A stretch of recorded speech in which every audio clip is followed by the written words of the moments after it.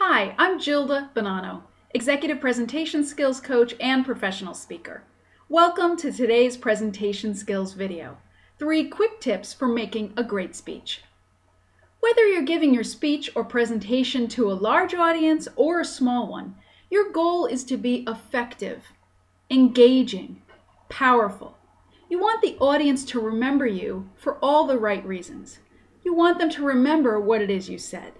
So here are three quick tips for ensuring that you're memorable and that your speech or presentation is effective. First, focus on your audience. What's important to them? You want to make sure you understand their expectations. What are they expecting coming into this presentation? What have they been told about what you're going to say? You want to make sure you meet those expectations. You want to make it clear to them what the purpose of your presentation is. What is your message? What's the one thing that you want them to remember? Whether you're speaking for two minutes or two hours, what's the one thing you would like them to remember? What's the point? What is the bottom line? What's the headline?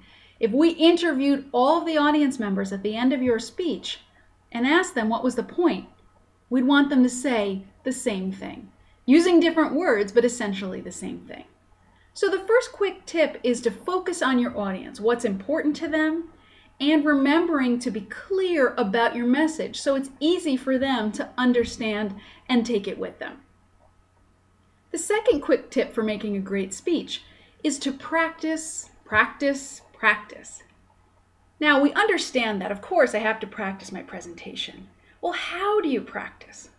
It's not enough to sit at your desk and think about your presentation. That's not practice. It's not enough to sit at your desk and flip through your slides if you have them. That's not practice.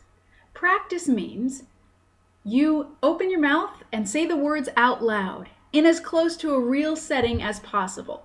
So if you're going to deliver your talk in a conference room with you standing at the front, that's where you practice, either the actual room itself, if you can manage it, or something similar. If you're going to give your presentation seated, then that's how you practice. So you're trying to do what we call in theater a dress rehearsal. You're trying to get everything as close as possible to that real environment so you become very comfortable with the material so when you give it live, if something were to go wrong, you could just roll with it. You would continue with your presentation without being thrown off track. This is not about memorizing your speech word for word. That's a recipe for disaster because then you're stuck in your head trying to remember what comes next rather than focusing on your audience. Rather, it's about getting so comfortable with your material that you can say it several different ways but still have that same clear message be communicated to your audience. The third quick tip for making a great speech is if you must use slides, use them wisely. So first of all, think about the question. Do you really need slides? For a five-minute presentation, do you really need slides? For a one-hour speech, do you really need slides? Very often, I think the answer is no. You don't need slides. I know that a lot of companies require you to use slides, or the predominant business culture is that you use slides.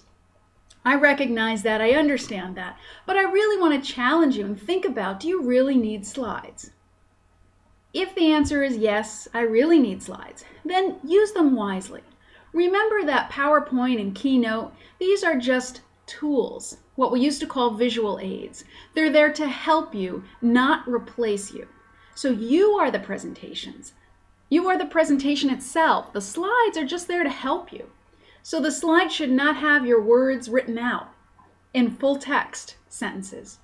It should not contain bullets and bullets and bullets of text and very hard to read graphics and charts. Your slides should merely be an addition to your speech or presentation, maybe containing some high level graphics, some pictures, some information that would enhance what you're saying rather than replace you. So don't think of it as your script, don't think of it as your handout. It's just slides that will help your audience understand you more effectively. So make sure your slides are created with that in mind. So these were three quick tips to help you make a great presentation.